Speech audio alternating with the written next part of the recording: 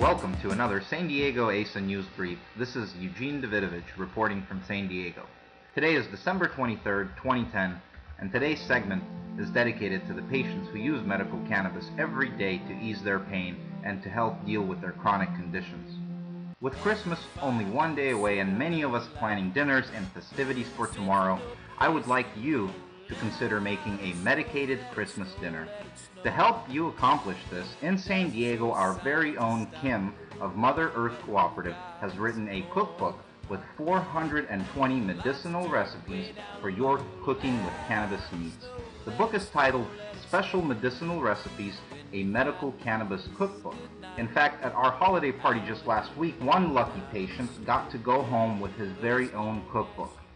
Kim, a cancer survivor, mother, advocate, and medical cannabis patient, has lived in San Diego for almost 20 years and has been at the forefront of the fight for safe access here in town. She is one of the founding members of Mother Earth Cooperative. She sits on the San Diego City's Medical Marijuana Task Force, the San Diego ASA Advisory Board, and has helped facilitate safe access for many patients in San Diego since 2005 through the cooperative located in Mission Hills. I have rarely been to a San Diego event where Kim has not generously donated her time, cookbooks, Rasta bicycles, and goodwill to help further the cause. Every single month, Kim writes a column for Nug magazine called Cannabis Cooking with Kim.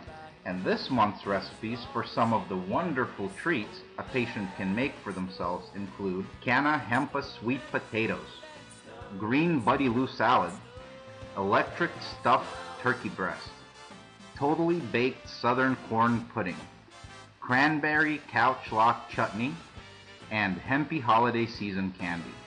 The cookbook with 420 medicinal recipes can be purchased at the cooperative in Mission Hills. You can give them a call at 619-794-4618 or visit their website at motherearthcoop.com.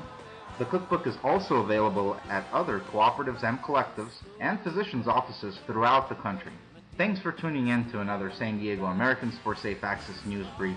And as Kim from Mother Earth would say, wishing you a hempy journey to a healthier you. Be kind to each other.